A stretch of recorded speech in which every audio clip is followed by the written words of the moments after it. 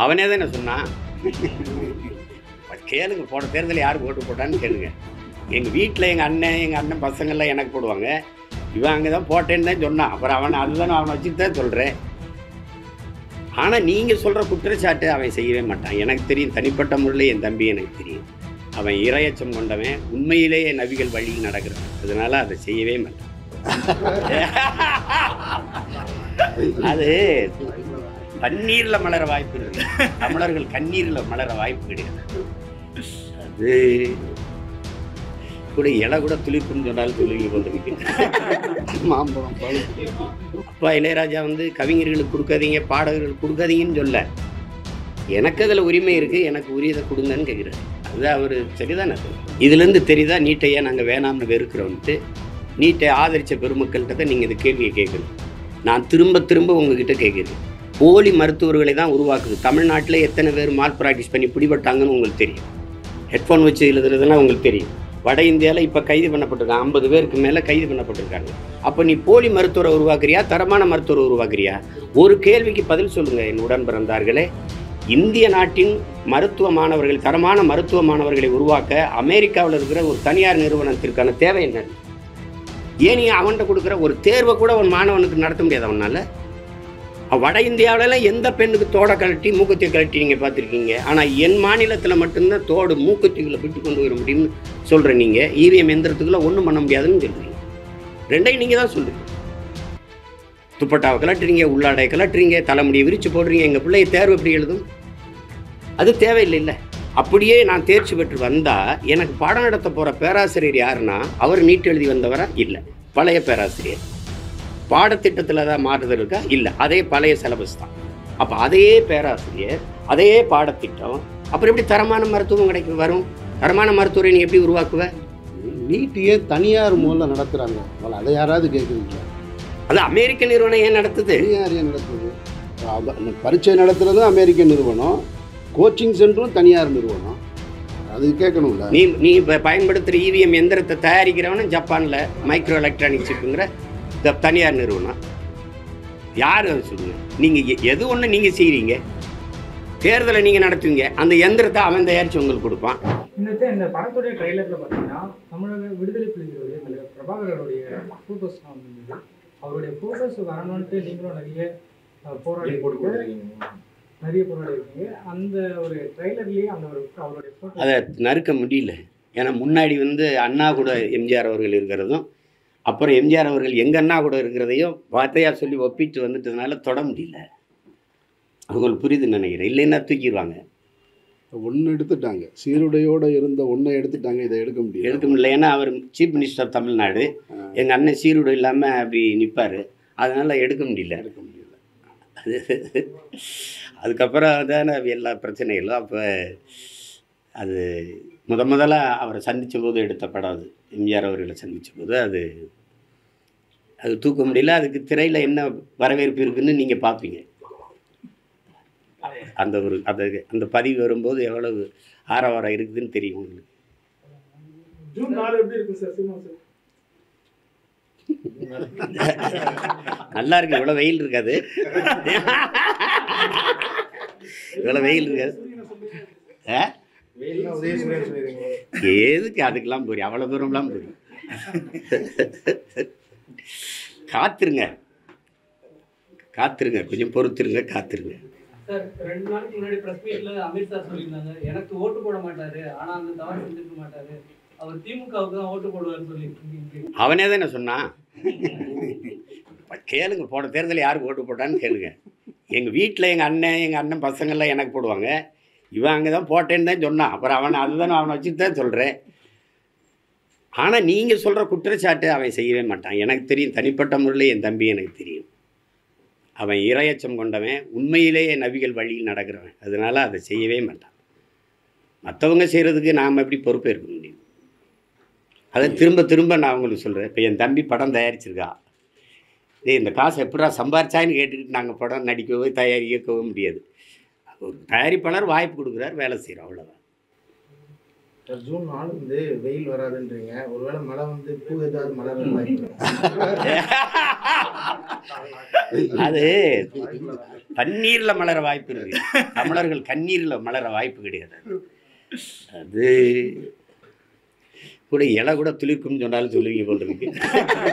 மாம்பழம் பாடலோட வரிகள் வரி முக்கியமா வந்து இப்போ காரணமா போயிட்டு இருக்கு சார். உங்களுடைய பார்வையில வந்து ஒரு இயக்குனரா நீங்க எப்படி சார் இதை பாக்குறீங்க இரண்டு மியூசிக் பேரும் முக்கியமா இல்லாட்டி இரண்டு பேரும் ஆளுமைகள் இதுல மோதிக்கிட்டு மோதிக்கிட்டு இருக்காங்க. இருக்காங்க பாடல் யாருக்கு சொன்னீங்க இது கல்வியா செல்வமா வீரமாங்கிற கதை மறுபடியும் சரஸ்வதி சபதம் தான் எடுக்கணும் நாங்கள் அப்படி கிடையாது. இசைத்தமிழ் நீ செய்த அருஞ்சாதனைன்னு இப்போ இருக்கிற மாதிரி தான் அது இதில் பாடலா இசையன்னா ரெண்டுமே முக்கியம்தான்.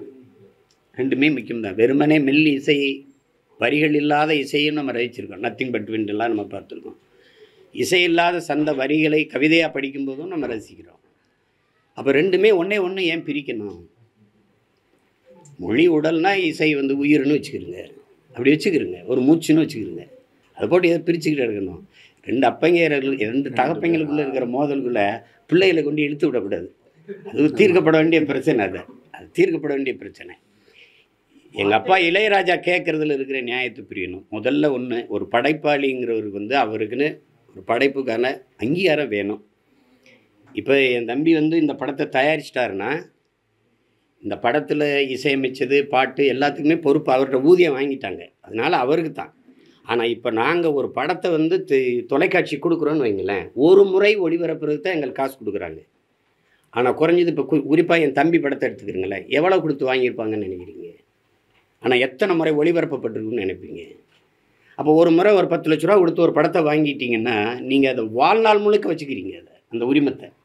அப்போ அந்த ஒவ்வொரு முறையும் முன்னாடியெல்லாம் வானொலியில் ஒரு பாட்டு வந்துச்சுன்னா அந்த ஒரு தடவை ஒளிபரப்புனா அதுக்கான ஒரு ராயல்ட்டின்னு ஒன்று கொடுப்பாங்க. அப்போ ஒரு படைப்பாளிக்கு அந்த எழுத்தாளருக்கு அந்த இசையமைப்பாளருக்கு இந்த தயாரிப்பாளருக்கு ஒன்று ஒரு விழுக்காட்டு அடிப்பில் வச்சுக்கலாம். அறுபது தயாரிப்பாளருக்கு. மீதி மற்றவங்களுக்கு அந்த வாங்கி வெளியிடுற நிறுவனத்துக்கு ஒரு அறுபது. மீதியில் நாற்பதில் தயாரிப்பாளர் படைப்பாளிகள் அவங்களுக்கெல்லாம் பிரித்து கொடுக்குறதுங்கிறது ஒரு நியாயமான உரிமை. அதை தான் அவர் கேட்குறாரு அதை நம்ம புரிந்து கொள்கிற விதத்தில் எல்லாரும் தவறு பண்ணிட்டு அப்பா இளையராஜா வந்து கவிஞர்களுக்கு கொடுக்காதீங்க பாடகர்களுக்கு கொடுக்காதீங்கன்னு சொல்ல. எனக்கு அதில் உரிமை இருக்குது எனக்கு உரியதை கொடுங்கன்னு கேட்குறாரு அது அவர் சரிதானே அது? மாற்றம் வருமா சார்? மாற்றம் வராது தம்பி வர வைக்கணும். தானாய் எல்லாம் மாறும் என்பது பழைய பொய்யடா. தனி உடைமை கொடுமைகள் தீர புரட்சி செய்யடான்னு நம்ம தாத்தா பட்டுக்கோட்டை பாடினது மாற்றம் வந்து தானாக வராது மாற்றணும் காந்தி சொல்கிறார்ல உலகத்தை எப்படிப்பட்ட மாற்றத்தை ஏற்படுத்த நீ நினைக்கிறியோ அந்த மாற்றத்தை உன்னிலிருந்து தொடங்குன்னு நான் என்னிலிருந்து தொடங்குறேன். நீங்கள் உங்களிலிருந்து தொடங்குங்க மண்ணிலிருந்து தானாக தொடங்கும். ஒரு சில மக்கள் வந்து ஹீரோக்களால தான் மாற்றம் வரும்.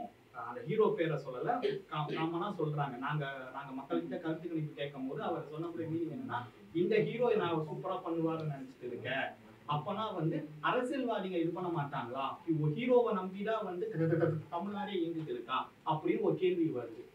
அது மற்ற மாநிலங்கள் இல்லாத ஒரு அளவு கடந்த திரைக்கவர்ச்சி நமக்கு திணிக்கப்பட்டிருக்கு. உங்களுக்கு புரியுதுன்னு நினைக்கிறேன். அளவு கடந்த திரைக்கவிழ்ச்சி நம்மக்கிட்ட இருக்குது இப்போ அருகில் இருக்குது கேரளா அங்கேயே அரசியல் இருக்குது மேற்கு வங்கத்தில் இருக்குது எல்லா மாநிலங்கள்லேயும் இருக்குது இங்கே கூடுதலாக இருக்குது இப்போ அந்த ஹீரோ மேலே மக்கள் இன்னைக்கு வைக்கிற நம்பிக்கையை அவர் அப்படி காப்பாற்றிட்டார்னா ரியல் ஹீரோ ரியல் ஹீரோவாக இருந்தவர் ரியல் ஹீரோவாக இருக்க போகிறாரு ஆனால் எங்களுக்கெல்லாம் ரியல் ஹீரோ இன்னும் இருக்கிறாருன்னா எங்கள் ஐயா நல்ல கண்ணவர்கள் இந்த இடத்துல முன்ன ஒரு பத்தாண்டுகளுக்கு முன்ன வரைக்கும் சொல்லப்பட்டுக்கிட்டு இருந்தது ஹீரோக்கள் வந்து மாற்றத்தை ஏற்படுத்துவாங்கன்னு நம்மளும் கூட அதில் நம்பிக்கைக்குரிய ஒரு ஆளாக தான் இருந்தோம்.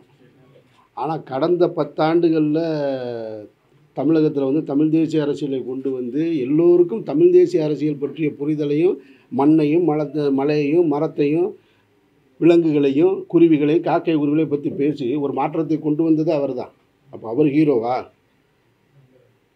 அவர் ஒற்றை மனிதனாக தான் கிட்டத்தட்ட முப்பது லட்சம் வாக்குகளை பெற்று கொண்டு வந்து மாற்றத்தை ஏற்படுத்தியிருக்கார். அந்த முப்பது லட்சம் வந்து அதிகாரத்தை பிடிக்கிற வாக்குகளாக இன்னும் மாறலையே தவிர அவர் மாற்றத்தை தொடங்கிட்டார் பத்து வருஷத்துக்கு முன்னாடியே.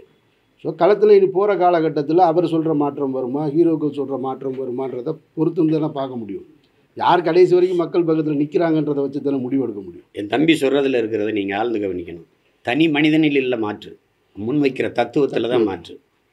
நீங்கள் எப்பவும் தனி மனிதனை தலைமை இருக்கக்கூடாது. நான் இருப்பேன் போயிடுவேன் ஆனால் நான் முன் வச்ச தத்துவத்தை தான் நீங்கள் தலைமை இருக்கணும் ஏன்னா அது அப்படியே இருக்கும். அது அப்படியே தான் இருக்கும். அப்போ அந்த அதை தான் நீங்கள் பார்க்கணும். அவர் என்ன கோட்பாட்டை சொல்கிறாரு பேசுகிறது அமீர் ஆதம் பாவா சீமான்னு ஏன் பார்க்குறீங்க. நாங்கள் என்ன கருத்தை எடுத்து வைக்கிறோம்னு பாருங்கள் அது அந்த அதை பாருங்கள் அந்த கருத்து ஆக சிறந்ததாக இருக்குன்னா ஏற்கிறதா எதிர்க்கிறதாங்கிறது அப்புறம் விவாதிங்க. அதுதான் சரியாக இருக்கும். நடிகர் லாரன்ஸ் அவர்கள் இப்போ மாற்றம்ங்கிற ஒரு அமைப்பை தொடங்கியிருக்காங்க. அது ஒரு அரசியலான வாழ்த்துக்கள். முதல் படியா இருக்கலாமா? இல்லை இல்லை தம்பி ஆமாம் அதுக்கு. இல்லை இல்லை அது அது ஒரு ஒரு வார்த்தையில் இருக்கிற மாற்றம் நாளைக்கு வந்து வாழ்க்கையில் வரும். அது வரலாறாக மாறும். தம்பி லாரன்ஸு செய்யும் போது அவர்கிட்ட ஒரு ஈடுபாடு இருக்குது. சமூக அக்கறை இருக்குது. அதுக்கு நான் எப்போவுமே அவருக்கு வாழ்த்துவேன். மாற்றத்தை தம்பி நிகழ்த்துவதற்கு நாங்கள்லாம் அவருக்கு உறுதுணையாக இருப்போம். அவர் நிறைய செய்கிறாரு நீங்கள் கவனிப்பீங்கன்னு நினைக்கிறேன். நிறைய செய்கிறாரு அப்போ அதை வந்து செய்யும்போது மாற்றம்ங்கிறது இங்கே வெறும் சொல்லல செயல்னு நாங்கள் திரும்ப திரும்ப சொல்லிகிட்டு இருக்கிற காரணம் அதுதான். அந்த தம்பி தொடங்கின மாதிரி நீங்களும் உங்களுக்குள்ளே அந்த சிந்தனை வரணும் அவருக்குள்ளே வரணும் அவருக்குள்ளே வரணும். அப்படி வரும்போது நிறைய கேள்விகள் பிறக்கணும். கேள்விகள் பிறக்கும்போது தான் பதில் தேடல் வரும். தேடல் வரும்போது தான் ஒரு தெளிவு வரும். அதில் கேட்குறதுக்கே அஞ்சிக்கிட்டு பயந்துக்கிட்டு இருந்தோம்னா கஷ்டமாயிரும் அப்புறம். நேற்று நீட்டு தேர்வு எழுதியிருக்காங்க. அதுல மாணவர்களுக்கு வந்து அந்த சீரியல் நம்பர்ல அஹ், குளறுபடி ஏற்பட்டிருக்கதா பெற்றோர்களும் மாணவர்களும் நேற்று வந்து புகார் கொடுத்திருக்காங்க. இது எப்படி பாக்குறீங்க இதுலேருந்து தெரியுதா நீட்டையே நாங்கள் வேணாம்னு வெறுக்கிறோன்ட்டு? நீட்டை ஆதரித்த பெருமக்கள்கிட்ட தான் நீங்கள் இந்த கேள்வியை கேட்கணும். நான் திரும்ப திரும்ப உங்ககிட்ட கேட்குறேன். போலி மருத்துவர்களை தான் உருவாக்குது. தமிழ்நாட்டில் எத்தனை பேர் மால் ப்ராக்டிஸ் பண்ணி பிடிபட்டாங்கன்னு உங்களுக்கு தெரியும். ஹெட்ஃபோன் வச்சு எழுதுறதுலாம் உங்களுக்கு தெரியும். வட இந்தியாவில் இப்போ கைது பண்ணப்பட்டிருக்காங்க ஐம்பது பேருக்கு மேலே கைது பண்ணப்பட்டிருக்காங்க. அப்போ நீ போலி மருத்துவரை உருவாக்குறியா? தரமான மருத்துவரை உருவாக்குறியா? ஒரு கேள்விக்கு பதில் சொல்லுங்கள் என் உடன் பிறந்தார்களே. இந்திய நாட்டின் மருத்துவ மாணவர்கள் தரமான மருத்துவ மாணவர்களை உருவாக்க அமெரிக்காவில் இருக்கிற ஒரு தனியார் நிறுவனத்திற்கான தேவை என்ன? ப்ரோமெட்ரிக்குங்கிற அமெரிக்க நிறுவ நிறுவனத்துக்கு தேவை என்ன? இந்தியாவில் தரமான மருத்துவரை உருவாக்கி கொடுக்க. ஏன் நீ அவன்கிட்ட கொடுக்குற? ஒரு தேர்வை கூட அவன் மாணவனுக்கு நடத்த முடியாது அவனால். வட இந்தியாவிலலாம் எந்த பெண்ணுக்கு தோடை கழட்டி மூக்கத்தியை கழட்டி நீங்கள் பார்த்துருக்கீங்க? ஆனால் என் மாநிலத்தில் மட்டும்தான் தோடு மூக்கத்திக்குள்ளே விட்டு கொண்டு வர முடியும்னு சொல்கிற நீங்கள் இவிஎம் எந்திரத்துக்குள்ளே ஒன்றும் பண்ண முடியாதுன்னு சொல்கிறீங்க ரெண்டையும் நீங்கள் தான் சொல்கிறீங்க துப்பட்டாவை கலட்டுறீங்க உள்ளாடையை கலட்டுறீங்க தலைமுடியை விரித்து போடுறீங்க. எங்கள் பிள்ளைய தேர்வு எப்படி எழுதும்? என்ன மனநிலையில் நீங்கள் உள்ளே அனுப்புறீங்க எங்களை? என்னுடைய பொண்ணு ரெண்டு வருஷத்துக்கு முன்னாடி நீட் எழுத போச்சு. நான் அதை எந்த செய்திகள்லையும் சொல்லலை. நீட் எழுத போனப்போ அவள் போட்டிருந்த புர்காவை கலட்ட சொல்லிவிட்டு உள்ளே வர சொன்னாங்க. உன் நீட்டே வேணான்னு சொல்லிட்டு அது வீட்டுக்கு வந்துருச்சு.